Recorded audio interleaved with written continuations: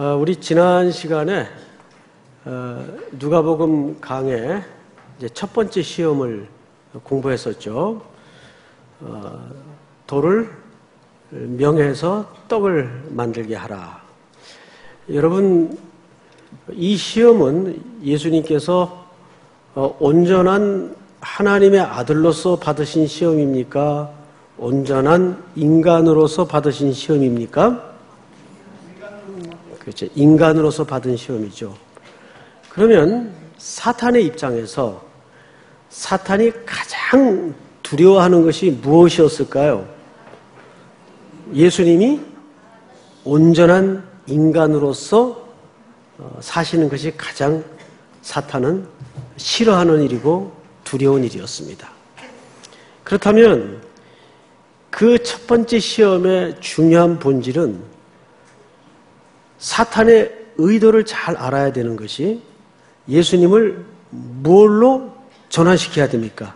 하나님의 아들로 전환을 시켜야 돼요. 그래서 네가 만일 하나님의 아들이어든이라는 이 질문은 긴지 아닌지 긴가민가 해서 물었던 질문이 아니고 하나님의 아들이라는 것을 전제를 하고 묻는 질문이에요. 이 질문이 갖는 중요한 이유가 뭐냐 하면 예수님에게 보다 쉬운 길을 택하도록 유혹하는 겁니다. 항상 신앙의 모든 유혹이 어디에 있는가 하면 쉬운 길을 택하게 하는데 유혹이 있어요. 과정을 생략하고 보통 은사주의라는 게 왜 발생합니까? 힘드니까 은사주의가 쉬워 보이는 거죠. 예를 들면 어, 목회가 참 힘들잖아요. 우리 농어촌 선교나 수도권 선교를 가보면 참 그 월세 건물에서 어, 수지도 안 맞는데 성도 몇 명 안 되는 그 인원을 붙들고 어, 목회자들이 열심히 고생을 해요. 그러다 보면 차지 어떤 유혹이 자꾸 자꾸 들어올 수 있는가 하면 다는 그렇다는 게 아닌데 일부가 뭔가 좀 이렇게 확 성도들이 이렇게 좀 빨려 들어올 만한 어떤 게 없을까? 그래서 자꾸 은사 쪽으로 가게 돼 있어요. 말씀 중심보다는 그래서 뭐가 번쩍하고 막 손 댈라 그러기만 해도 막 뜨거워가지고 병이 나고 어, 못 보던 사람들이 눈이 확 떠지고 그러면 대본 소문나서 그 교회는 문전성시를 이루게 될 겁니다. 그게 쉬운 방법이에요. 사실은. 사탄은 자꾸 우리를 그런 쪽으로 몰아가요. 유혹을 해요. 그래서 사탄이 진짜 의도하는 건 뭐냐 하면 예수님이 온전한 인간이 되어서는 안 돼요. 왜? 그러면 예수님이 고난을 받고 십자가에서 우리의 죄를 대속하는 구속이 이루어지기 때문에 그거를 사탄이 가장 싫어하는 겁니다. 두 번째는 이것이 예수님이 하나님의 아들로서 그리고 온전한 인간으로서 받으신 시험이었다면 우리에게 주는 적용의 메시지가 있다 그랬어요. 우리도 그런 패턴의 시험을 겪지만 예수님이 받으신 시험과 우리가 받아야 될 시험의 다른 점은 결국 예수님이 그 시험을 온전한 하나님으로서 이기셨습니까? 인간으로서 이기셨습니까? 예, 여기서 헷갈리면 안 돼요, 또. 하나님의 아들로서 이긴 게 아니라 온전한 인간으로서 그 시험을 이기신 거예요. 그렇다면 여기에 우리 신앙생활에 중요한 실마리가 열어진단 말이에요. 우리도 그런 시험을 대할 때마다 이길 수 있다는 얘기입니까? 없다는 얘기입니까? 그렇죠. 이길 수 있어야 되고 이길 수 있는 길을 누가 제시한 거죠? 예수님이 제시한 거예요. 그래서 누가복음에는 이 예수님의 시험과 연결되어서 일정하게 따라다니는 수식어가 하나 있다고 그랬죠. 성령에 의해서 성령에 이끌려. 그래서 우리에게 이 세상의 시험과 유혹을 이길 수 있는 중요한 방법은 내 힘으로는 또 내 힘만 의지해서는 백전백패할 수밖에 없어요. 그러나 내 안에 거주하시는 성령님께서 우리를 철저히 가이드해 주실 때 우리는 그 시험을 이길 수 있어요? 없어요? 이길 수 있다는 겁니다. 그래서 오직 성령의 충만함을 입으라. 믿습니까? 자, 이제 오늘은 두 번째 시험이에요. 두 번째 시험. 어, 우선 5절을 한번 보십시다. 5절.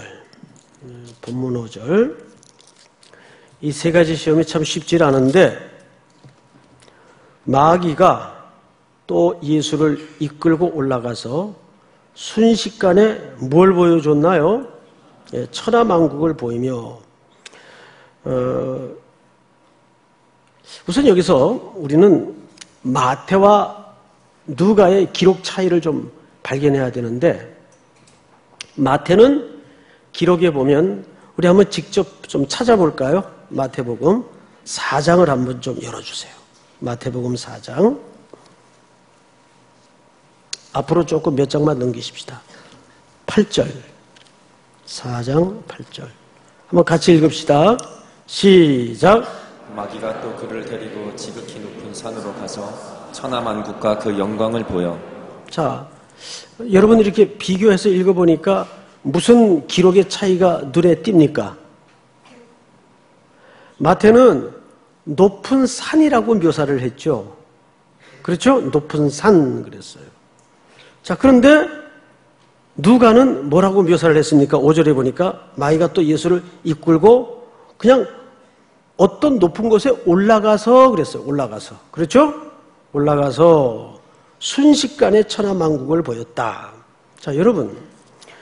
어, 분명히 마태의 기록과 누가의 기록의 차이점은 어, 산이라고 묘사를 했고 누가는 산이라고 묘사를 안 했어요. 근데 공통점이 있어요. 어쨌든 높은 곳인 것만은 사실이에요. 자, 그러면 높은 산이라고 합시다. 어, 아무리 높은 산이라도 여러분 몇 미터 산까지 올라가 보신 경험이 있나요? 제가 올라간 산은 한라산이 제일 높았던 것 같아요. 한라산. 더 높은 데 올라갔었나? 뭐 그 이상은 올라간 적이 없는 것 같아요. 태백산을 한번 넘었었고, 어, 아무리 높은 산에 올라가도 천하만국이 보이는 산이 존재할까요? 어떻게 생각하세요? 여러분 올라갔던 산을 한번 쭉 머릿속에 한번 떠올려 보세요. 뭐, 아, 한 시내 정도가 보이는 산은 많아요. 근데 아무리 높은 산이라도 천하만국을 볼 수 있는 산이 있을까요? 그래서 칼빈 같은 경우는 환상을 보였을 것이다. 이렇게 견해를 피력하기도 합니다. 환상일까요? 근데 이 제안을 누가 했는가가 중요해요. 누가 했어요? 마귀가 했어요. 자, 그러면 물어봅시다. 마귀는 일정 부분 하나님의 허락하에 능력이 있나요? 없나요? 있죠. 능력이 있어요. 그래서 우리는 뭐 칼빈 같은 보수주의 신학자도 이것을 환상으로 해석을 하더라고요. 그런데 조심스럽기는 하지만 우리는 이 천하만국을 보인 것은 하나님이 허락한 범주 안에 있는 마귀의 권한 안에서 가능하다고 보는 해석의 견해가 있어요. 자, 어느 쪽 견해를 택하든 해석하는데 문제가 될 건 없습니다. 환상으로 천하 만국을 보일 수도 있고 충분히 그럴 수 있겠죠. 뭐 제 아무리 높은 산일지라도 천하 만국을 한눈에 다 이렇게 볼 수 있는 산은 없으니까. 그런데 마귀의 제한된 능력 범주 안에서 천하 만국을 보여줄 수 있었어요. 분명히 그럴 수 있어요. 중요한 것은 뭘 보여줬다는 겁니까? 천하 만국을 보여줬다는 거예요. 자, 근데 여기에서 이 천하 만국이라는 표현이 참 애매해요. 그럼 당시 천하 만국은 도대체 그 시대를 쥐락펴락했던 로마 제국을 말하는 것이냐, 실제 전 세상을 말하는 것이냐. 여러분 생각에는 어느 쪽일 것 같습니까? 음, 전 세상을 말한다고 봐야 됩니다. 문맥상. 어, 자, 그런데 이것이 과연 예수님에게 왜 시험이었을까? 이게 중요해요, 오늘. 우리가 이제, 어, 사실 이 세 가지 시험에 대해서는 많이 읽기도 하고 듣기도 했지만, 한번 본문을 쭉 놓고 편안한 마음으로 이거를 객관적인 시각에 던져서 이렇게 묵상하는 경우는 쉽지 않거든요. 세 가지 시험이 있었어요. 첫째는 돌을 명하서 떡을 만드는 시험이 있었어요. 그리고 두 번째는 성전에서 뛰어내리도록 하는 시험이 있었어요. 그것은 마태의 순서입니다. 근데 이제 누가의 순서대로라면 천하만국의 영광을 보여주면서 절하면 이 모든 것을 내게 줄 것이다. 이 세 가지 시험 중에 여러분 생각에는 여러분 같으면 어느 시험이 제일 어려웠을 것 같아요? 그런 생각 안 해보셨어요? 아, 자꾸 묻지 말고 해라, 그냥. 같이 좀 합시다. 응? 시간도 널널하고. 내일 뭐 출근할 일밖에 없잖아요. 집에 가야 뭐 좀 이따 개콘 할 텐데. 예배 마치고 가도 충분히 요즘 시간이 바뀌어서 볼 수 있어요. 어느 시험이 여러분들은 제일 어려울 것 같습니까? 첫 번째 시험. 배고픈 거. 아, 정말 그럴까요? 여러분, 지난주에도 분명히 말씀드렸죠. 예수님의 그 시험은 예수님의 허기를 시험하는 시험이 아니라 그랬어요. 여러분, 허기를 시험하는 시험이었다면 돌 가지고 떡 만들라는 방법보다는 그 앞에 삼겹살에다가 차려놓는 게 더 유혹이지. 그렇지 않겠어요, 여러분? 예? 그것은 허기를 시험하는 게 아니에요. 예수님을 어떻게 하든 하나님의 아들로 돌려보내는 게 의도였습니다. 내가 이까짓 것 못할 줄 알고 이걸 원했던 건데 그 시험에서 사탄이 실패하죠. 그때 예수님이 꺼내들었던 카드가 뭐냐면 신명기 8장의 말씀이에요. 사람이 떡으로만 사는 것이 아니요 여호와의 입에서 나오는 모든 말씀으로 사는 것이니라. 그 말씀을 왜 하셨는지 아십니까? 사람이 누가 사람이에요? 여러분 보고 하는 얘기가 아니에요. 예수님이 사람이라고요. 이제 이해가 됩니까, 여러분? 그러니까 그 시험은 예수님이 온전한 인간으로서 주먹을 불끈 쥐고 보진 않았어도 부들부들 떨면서 참아내신 시험이에요. 하나님의 능력으로의 전환을 참아내신 시험이에요. 왜냐하면 그렇게 되면 인간으로서 실패하면서 대속과 구속의 사업은 끝나는 거라니까요. 그러면 여러분들을 사탄의 손아귀에서 건져낼 수가 없어요. 그러니까 그것은 할 수 있었기 때문에 시험이라고요. 시험의 본질이 달라요. 학자들의 글을 읽어보면 아마도 이 두 번째 시험이 가장 예수님에겐 힘들었을 것이라는 견해를 피력합니다. 저는 이제 이 그 누가복음 강해를 준비하면서 그 데럴 버기라는 분의 글을 많이 참고를 해요. 이걸 제가 일부러 얘기하는 이유는 자꾸 문자가 오고 전화가 와요. 어느 책을 봤느냐, 어디를 참고했느냐, 듣고 그냥 아시라고. 그 책이 이렇게 두꺼워요. 근데 정말 어, 균형 있는 좋은 책입니다. 또 특별히 고마운 것은 여러 학자들의 견해를 많이 참고를 했어요. 그 책에 보면. 자, 어쨌든 괜히 책 선전이 됐는데 어, 이 두 번째 시험이 예수님에게 왜 어려웠을 것 같습니까? 이 참 묘한 함정이 감춰져 있어요. 우선 여기에서 본문을 조금 더 읽고 결론에 다가가십시다. 몇 절을 보시냐면 6절을 보세요. 6절을 우리 전체가 한번 같이 읽겠습니다. 시작. 이르되 이 모든 권위와 그 영광을 내가 내게 주리라. 이것은 내게 넘겨준 것이므로 내가 원하는 자에게 주노라.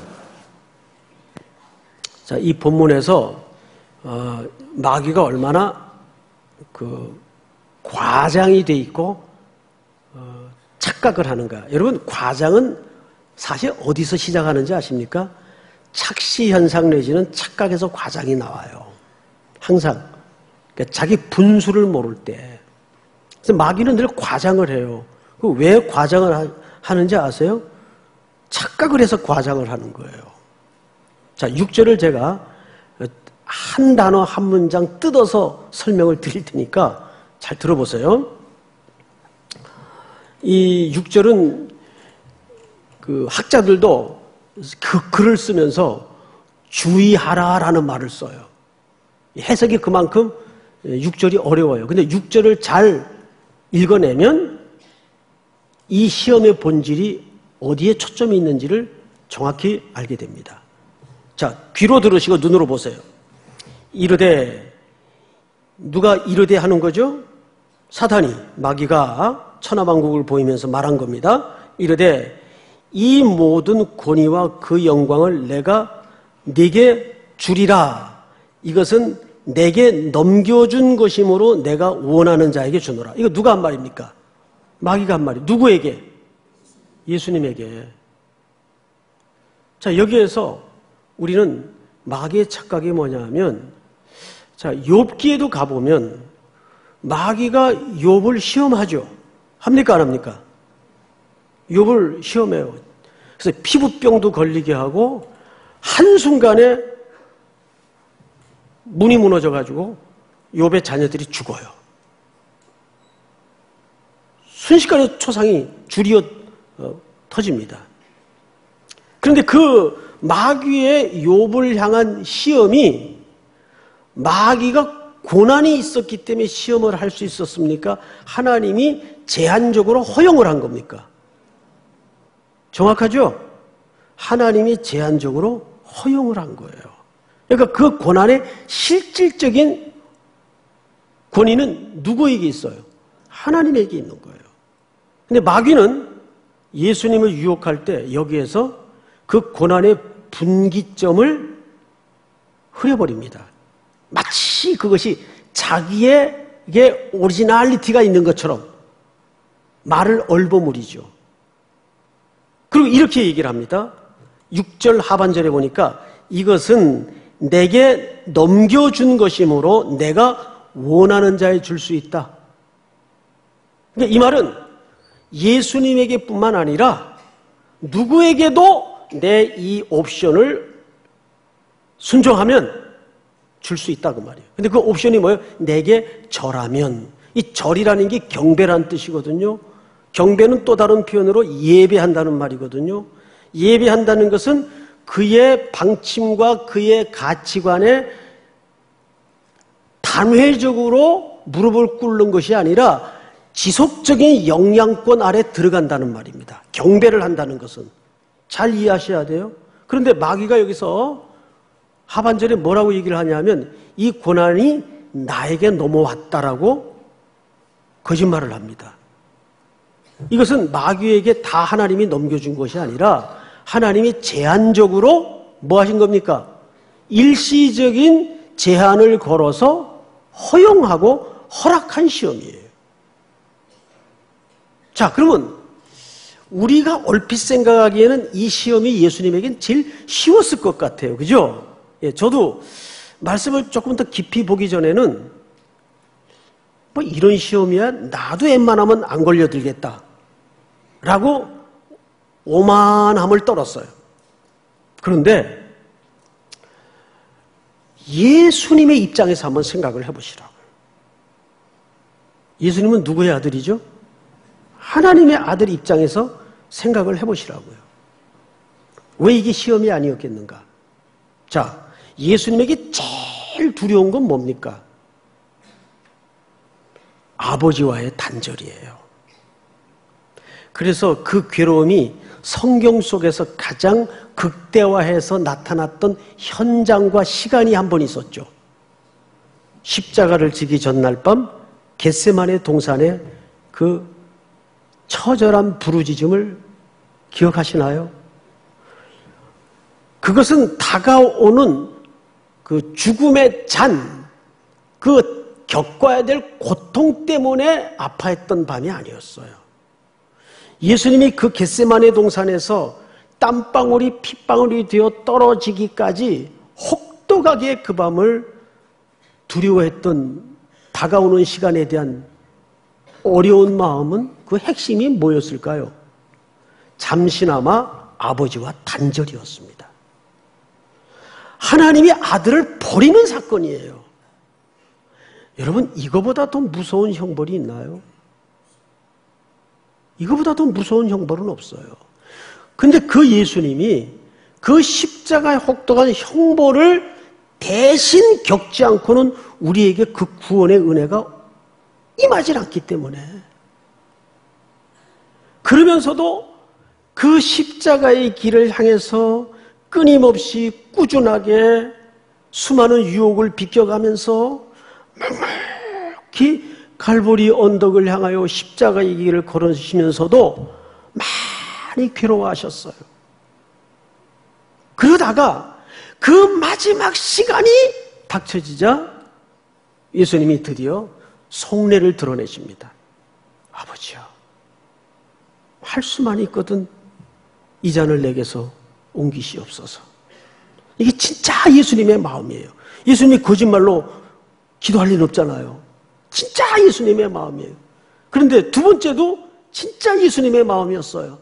그러나 나의 원대로 마옵시고 아버지의 뜻이 이루어지기를 원하나이다. 예수님이 이 땅에 오신 목적은 자기 마음대로 자기 인생을 경영하거나 살기 위해서 오신 목적이 아니고 아버지 뜻을 받도록 아버지께 순종하기 위해서 아버지만 섬기도록 하기 위해서 오신 거예요. 그런데 사단이 천하만국의 영광을 보이면서 너 내게 절하면 이것을 너에게 다 주겠다. 여러분, 이 제안은 핵심이 뭐죠? 여기 쉬운 길이 있다 그 뜻이에요. 여기 쉬운 길이 있잖아. 너 그렇게 괴로워하지 않아도 돼. 네가 지금 가려는 그 십자가를 향하는 길, 그 방법 아니래도 여기 쉬운 길이 있잖아. 그 오늘의 주제는 쉬운 길입니다. 항상 쉬운 길에 유혹이 있어요. 지금까지 한국교회가 병들어왔던 중요한 이유 중에 하나도 쉬운 방법을 택하려는 유혹에 많이 빠졌습니다. 그것이 은사운동으로 나타나고 수많은 이교도적인 이질적인 수단이 교회 안에 들어오기 시작했습니다. 제가 평소 입버릇처럼 여러분들한테 강조했던 바가 뭐죠? 과정을 무시한 채 한방신앙을 조심해라. 한방신앙을 조심해라. 우리 그 집안에도 그런 분이 한 분 계세요. 평생 이번에 이 것만 되면 지금까지 그러고 계세요. 뵌 지도 오래됐지만 지금까지도. 그리고 평생 아내와 자식들을 고생시킵니다. 그리고 땀 흘려 일하려 하지 않아요. 이거 한 건만 되면 청계천에 잠수함만 들어오면 뭐 옛날 표현을 빌리자면 그런 거예요. 나무 밑에 누워가지고 언젠간 떨어지겠지. 지까지 안 떨어지고 배겨? 그러다가만 눈탱이를 맞아가지고 시퍼렇게 멍이 나든죠. 그게 이제 우리 한국교회 교묘하게 들어온 쉬운 길에 대한 유혹이에요. 그게 사실은 신앙을 무척 병들게 만듭니다. 아니, 하나님이 능력이 없었어요? 왜 아드님을 아기의 몸을 입혀서 이 땅에 보내셔서 성장의 과정을 거치게 하면서 그 고난의 길을 걸으시게 하시고 십자가에 매어 달리게 하셔서 아들을 버리는 하나님 자신에게 비수를 꽂는 듯한 아픔을 감내하시면서 이 과정을 겪어내시도록 만드냐고요. 이 과정이 생략되면 우리를 진짜 사랑할 수 없기에. 그래서 한국 교회 안에서 또 우리 신앙의 의식 속에서 반드시 삭제시켜야 될 요인 중에 하나가 뭐냐면 요소 중에 하나가 피터팬 증후군입니다. 피터팬은 현실과 가상의 세계를 헷갈리잖아요. 그게 피터팬 증후군이에요. 그 어린애들은 보자기 메고 그냥 뛰어내리는 거예요. 신문에 가끔 그런 사고 나잖아요. 옛날에 한창 그 흑백 TV 시절 타잔 드라마가 유행일 때 밧줄 타고 죽은 애들이 많아요. 아, 그러다가 발 부러지고 다리 부러지고. 이 교회 안에도 많아요. 어느 날 갑자기 애가 이상해진 거야. 은혜 받아가지고. 그런데 갑자기 막 비명을 지르더니, 아, 아, 그러다가 사고 나고 그러는 거예요. 마귀의 유혹은 지금 예수님에게 쉬운 길을 제시한 겁니다. 너 그 아픔을, 그 고난의 길을 가지 않고도 여기 쉬운 길이 있지 않느냐. 여러분, 우리에게 이런 시험이 왔다면 우리 안 넘어질 것 같습니까? 누구나 쉬운 길을 택하게 되어 있습니다. 더구나 쉬운 길이 아닌 다른 길이 혹독한 고난이 준비된 길이라면 정말 예수님의 입장에서 가장 두렵고 무서운 게 뭐죠? 아버지와 단절을 감내해야 되는 십자가를 지는 일이라면 왜 이것이 유혹이 아니겠어요? 이거는 무시무시한 영적인 유혹인 것이죠. 그거를 예수님이 말씀으로 잘라내십니다. 자, 성경을 한번 볼까요? 7절을 한번 보시다. 7절. 다 같이 시작. 그러므로 내가 만일 내게 절하면 다 내 것이 되리라. 나를 경배하면 이 모든 천하 만국의 영광이 다 네 것이 될 것이다. 이게 얼마나 쉬운 길로 인도하는 달콤한 제안이고 유혹입니까? 여러분 그런데 언젠가도 제가 우리 청년들에게 제주 성교인가요? 가서 저녁 시간에 설교를 했죠. 항상 괴롭고 힘들고 피하고 싶은 일에 하나님이 섭리를 숨겨두셨다는 사실을 놓치지 마십시오. 피하고 싶은 길에 하나님의 섭리가 있어요. 그러나 온 인류의 역사는 항상 쉬운 길을 택합니다. 제가 학부 다닐 때, 학부 다닐 때, 어, 신학대학이니까 이제 맨날 체프를 드렸습니다. 어느 저 시골에서 올라온 선배 목사님 한 분인데 아주 무명의, 무명의 목사님이세요. 근데 그분이 오랜만에 모교에 오셔서 어린 후학들에게 설교를 하시는 거예요. 참 설교도 유창한 설교도 아니에요. 그런데 제 귀에 탁 들어박힌 한마디가 있었어요. 여러분, 앞으로 이 복음을 붙들고 이 길을 가다 보면 반드시 두 갈래 길이 나올 겁니다. 말하자면 기로에 서게 될 겁니다. 그 뜻이에요. 두 갈래 길이 나올 겁니다. 그때 여러분들이 하나님께 복을 받는 비결은 어려운 쪽을 택하십시오. 어려운 쪽에 반드시 하나님의 복이 감추어져 있습니다. 어려운 쪽을 택하십시오. 그게 너무 마음에 남았어요. 어린 시절 마음에 남았던 그 말씀이 평생 갈래길 앞에서 중요한 원리가 되고 원칙이 되더라고요. 어떡할까? 수많은 갈래길 앞에 저도 뒤밀어졌죠. 어떡할까? 어떡할까? 그때 두 번도 묻지 않고 저는 어려운 쪽을 택할 수 있었어요. 그 선배의 가르침 때문에. 근데 그것이 그 선배의 가르침을 넘어서 주님이 이 땅에서 사셨던 삶의 방식이었습니다. 믿습니까, 여러분? 자, 우리 본문을 좀 보십시다. 8절. 다 같이 한번 읽어볼까요? 시작. 예수께서 대답하여 이르시되 기록된 바 주 너의 하나님께 경배하고 다만 그를 섬기라 하였느니라. 네. 우리 어, 데살로니가 후서 2장 3, 4절을 한번 띄워주실까요? 같이 읽겠습니다. 시작.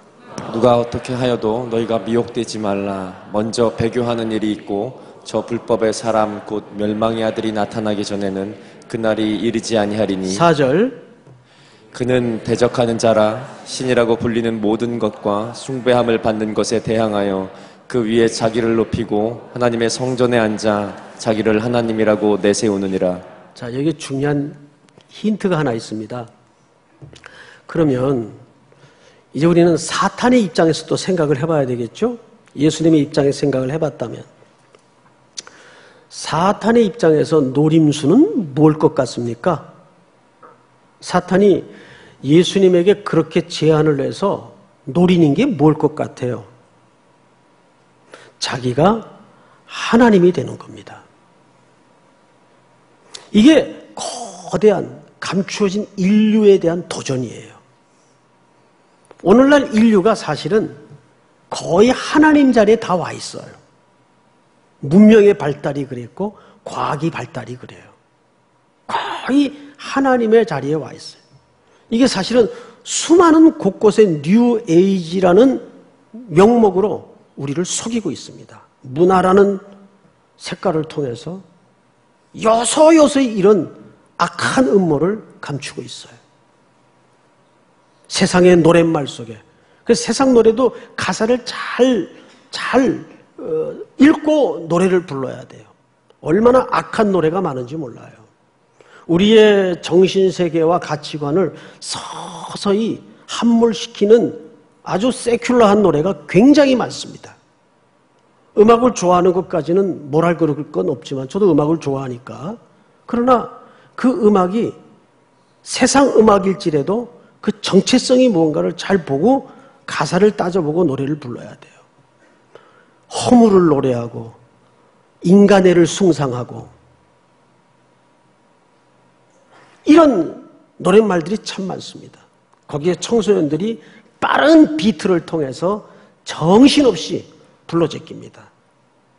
근데 그 속에는 사탄을 숭배하고 세상의 문화를 찬양하고 하는 내용들로 거의 다 대부분 차 있습니다.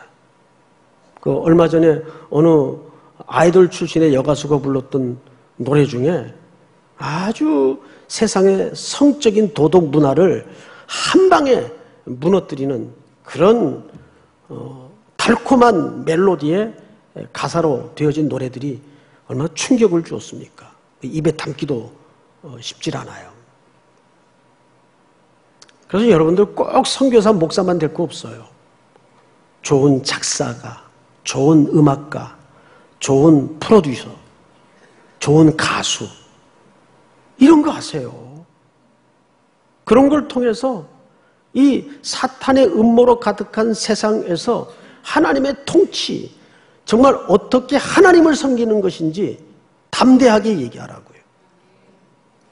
제가 금요 영성 집회 때도 잠깐 말씀을 드렸지만 나고야 히스콜 교회에 가서 초대되어 온 전혀 복음을 알지 못하는 일본 청년들에게 복음을 전하는데 통역이 자꾸 머뭇거려요. 버벅거리고 유창하게 통역을 잘 하다가 그래서 이제 속으로 아유 공부를 좀 더 해야 되겠구나 이러고 이제 맞췄어요. 근데 나중에서야 알게 됐어요. 제가 너무 마음이 뜨겁게 달아올라서 그 귀하게 온 일본 청년들에게 아주 원색적으로 죄를 지적했어요. 그리고 복음을 전했어요. 근데 이 일본 문화에서는 상상할 수 없는 표현을 제가 한 거예요. 감히 죄를 말하고 죄를 지적하니까.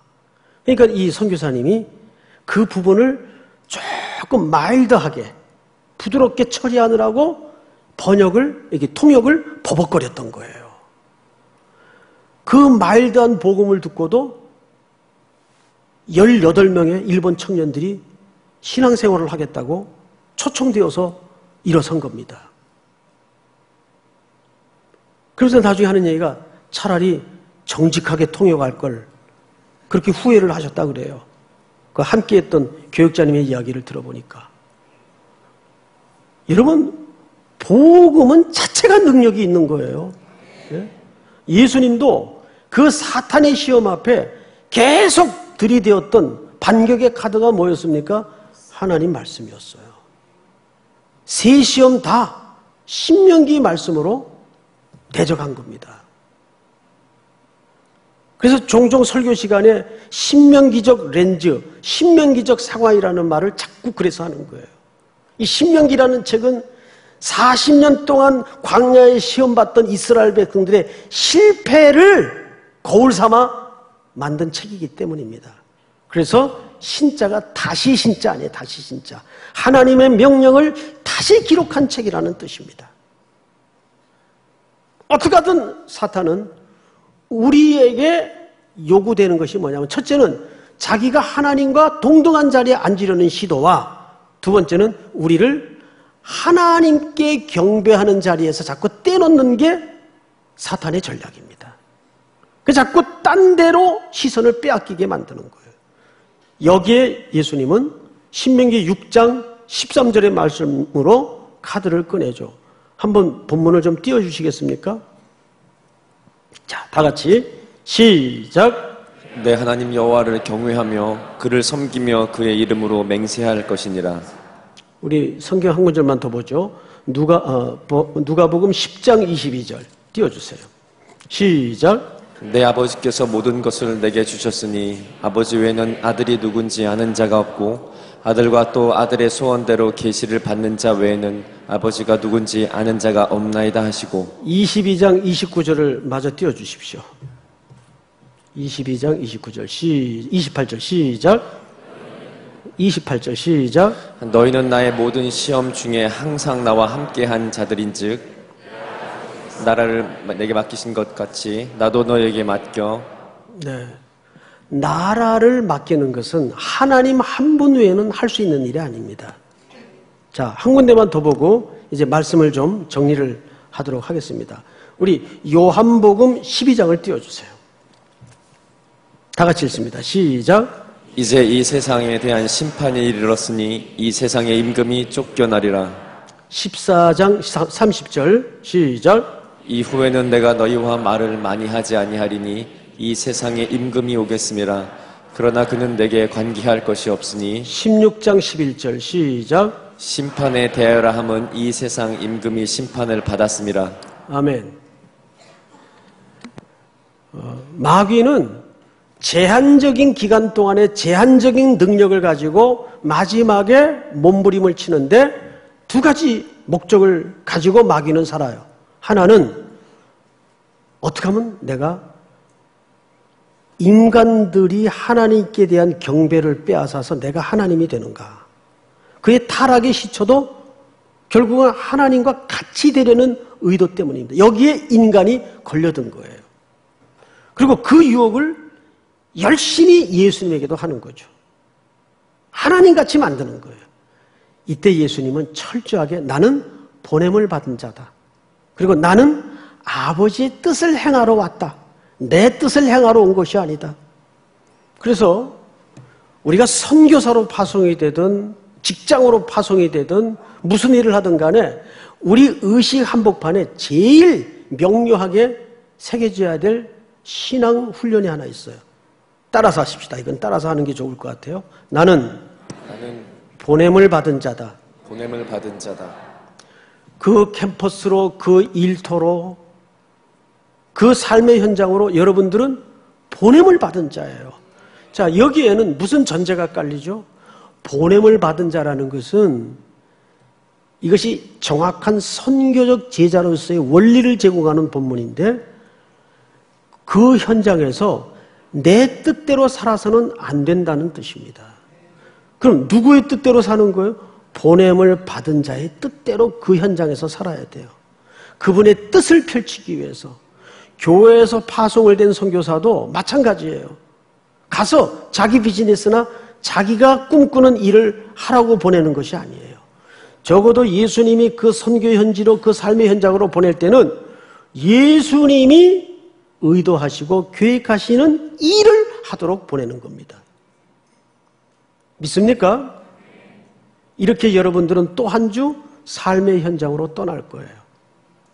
그때 과연 나는 보냄을 받은 자로서 살아갈 수 있는가? 아니면 거기에 또 자기의 왕국을 건설하기 위해서 아담적 삶을 경영할 것인가?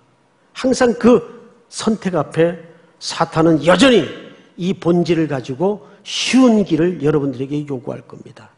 그때마다 여러분들은 기적이 상식이 되는 삶이 아니라 상식이 그 현장에서 기적이 되도록 땀 흘려 가꾸고 심고 거두는 가운데 그것이 내 노력과 내 지혜의 결과가 아니라 하나님의 은혜와 하나님의 결과임을 함께 고백하는 여러분들의 삶이 되기를 축복합니다.